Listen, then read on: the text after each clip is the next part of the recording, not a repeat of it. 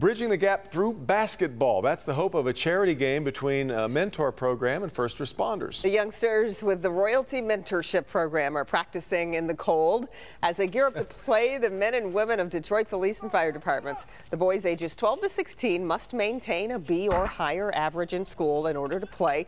Organizers say it goes deeper than just a game. This is a launch of something big. I'm starting this team, and we're going to travel. We're going to agency to agency, and we plan, and we're building a bridge, and there's a message behind it. It's to bring, you know, positivity, and you know, so the kids know who, who they first responders are in the community. That's great. The charity game is next Friday at Legacy Charter Academy on Detroit's east side. The boys hope to pull off a victory over first responders. We'll have more at clickondetroit.com. Oh, you know they'd love to win that.